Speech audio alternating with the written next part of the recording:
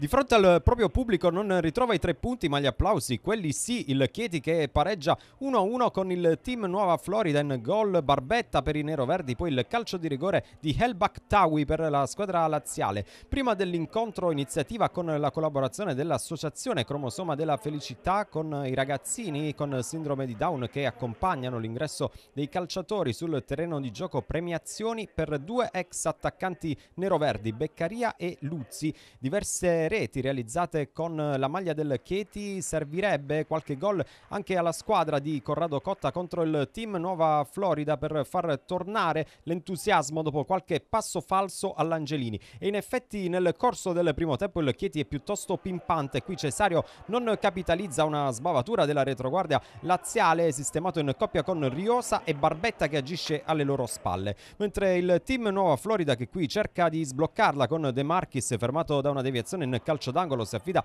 alle invenzioni di Calombo e di Ebba Tawi, queste le scelte di Alessandro Del Grosso, ex calciatore del Chieti in Serie C, buona iniziativa dei neroverdi con il capitano Pietrantonio Preciso, il cross che pesca la testa di Riosa, la squadra ha ritrovato fiducia dopo il successo con il Notaresco anche se nel finale di prima frazione il team Nuova Florida sfiora il gol con Luca Moretti che si accentra e scarica una conclusione che si perde sul fondo, risultato che si sblocca di inizio ripresa grazie a Loris Barbetta che raccoglie l'invito delizioso di Cesario con Spina che non interviene. Nulla da fare per Andrea Giordani, Chieti 1, Team Nuova Florida 0, gol di Barbetta, la squadra di Cotta è avanti. Cesario qui prova ad approfittare del momento di sbandamento del Team Nuova Florida, tornano a scrosciare gli applausi all'Angelini, ma la squadra ardeatina è sempre pericolosa quando si propone in avanti in questo frangente, si salva come può il Chieti Chieti, segnali di team Nuova Florida, mentre qui tutto fermo per fuorigioco, segnalazione che arriva